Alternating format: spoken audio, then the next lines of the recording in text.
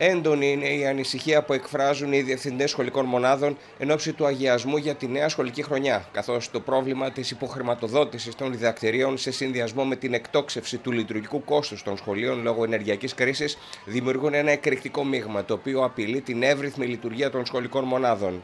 Εμείς τι λέμε, λέμε ότι βασικό αίτημα στον χώρο της παιδείας είναι η αύξηση των δαπανών για την παιδεία. Σήμερα είναι στο 4% του ΑΕΠ ε, που είμαστε 18 στους 27 της Ευρωπαϊκής Ένωσης. Ως πρώτο βήμα είναι να φτάσουμε στο 5% του ΑΕΠ έτσι ώστε να μπορέσουμε να συμβαδίσουμε ε, για να έχουμε σύγχρονα ποιοτικά ε, σχολικά κτίρια, σύγχρονες υποδομές, αναλυτικά προγράμματα και ταυτόχρονα να μπορούν με τα χρήματα αυτά να στηριχθούν και οι λειτουργίες δαπάνης σχολικών μονάδων. Εδώ οφείλω να τονίσω ότι και οι Δήμοι ε, θα πρέπει να αφήνουν και αυτοί ισχυρό αποτύπωμα, έτσι στηρίζονται σχολικές μονάδες και από άλλους ε, πόρους. Όσο αυτό δεν γίνεται, θα αντιμετωπίζονται προβλήματα στις σχολικές μονάδες για τη λειτουργία τους.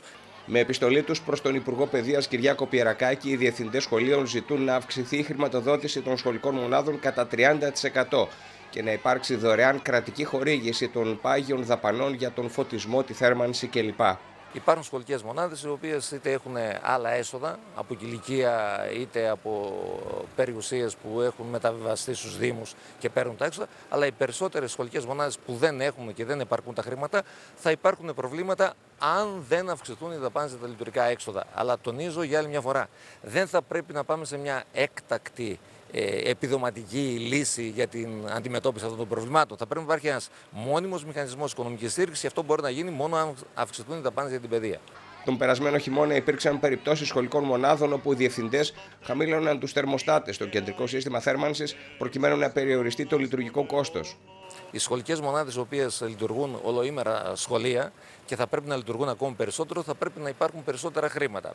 Οι διευθυντές σχολικών μονάδων, για να μπορέσουν να ανταποκριθούν σε αυτές τις συνθήκες και για να μην κρυώνουν οι μαθητές, κάνουν το εξής. Πολλές φορές ελαττώνουν ε, την, ε, το φυσικό αέριο ή το ηλεκτρικό ρεύμα στις σχολικές μονάδες για να μπορέσουν να σου φτάσουν τα χρήματά τους. Αυτό δεν πρέπει να γίνει. Την ίδια στιγμή ξεπερνούν τα 500 τα κενά στην πρωτοβάθμια και δευτεροβάθμια εκπαίδευση στη Μαγνησία, τα περισσότερα από τα οποία αφορούν σε δημοτικά, στην υπηαγωγία και στην ειδική αγωγή. Θα έπρεπε όλες οι υπηρεσιακέ μεταβολές που αφορούν την εκπαίδευση και τους εκπαιδευτικούς να έχουν ολοκληρωθεί ε, μέχρι τέλη Αυγούστου. Και τέλη Αυγούστου θα έπρεπε ήδη να έχουν προσληφθεί και οι αναπληρωτές.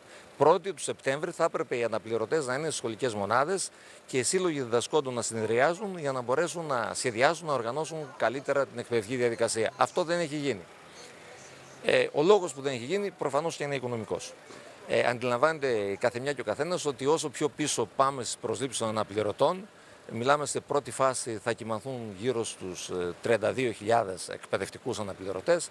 Για ανθρώπους που αφήνουν την προσωπική τους και την οικογενειακή τους ζωή πίσω, θα πρέπει να τους σεβαστούμε γιατί στηρίζουν όλα αυτά τα χρόνια το δημόσιο σχολείο.